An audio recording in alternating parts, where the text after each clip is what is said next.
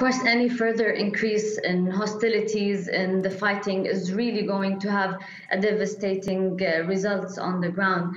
Um, there are more than 2.5 million people inside Greater Idlib, and half of them have already gone through that already, going from different areas, whether it's from Aleppo or eastern Ghouta or rural Damascus. They've gone through this heavy fighting. They fled these fighting under very difficult circumstances. And now, after they have reached Idlib, people are living in fear and uncertainty.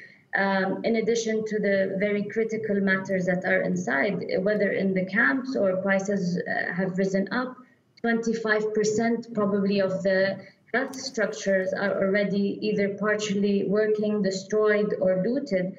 So just having to think that if the hostilities and the fighting becomes even more intense, how are the hospitals going to, to handle the influx of wounded? How are they going to get medicine? There are a lot of things that, that, that can be very catastrophic in terms of the civilians and the civilian population that are inside Idlib at the moment. And from that joint statement, it, seems that uh, the Turkish president did manage to, to win a reprieve, perhaps, for Idlib before a full on military assault. But how are NGOs preparing for the consequences of such an assault?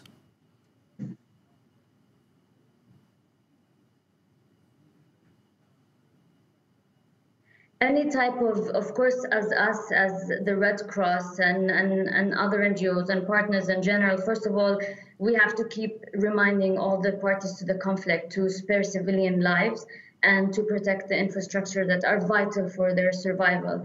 Now, in generally speaking, um, of course, we have to do our utmost. As as the Red Cross, it was hard for us to get access or direct access in Idlib, but we are supporting through our support to the Syrian Red Crescent inside. Uh, with ambulances, training volunteers, even um, in, an, in operating in a small ICU unit in one of the pediatric hospitals. Uh, we are also ready to um, to support our warehouses. Are have all the materials, medicines, food supplies, and other aid uh, ready, and we will be able to to gain access if we have the guarantees from all parties. If if as well we can we can be guaranteed that our teams are protected. So these are all, of course, uh, things that we can do, and I think everybody is working really, really hard at the moment to to try uh, to try and work towards what will happen, especially as we expect there's going to be an influx of people trying to flee the area in Idlib. Sara Alzawqari, thank you very much for having spoken to us on behalf of the ICRC.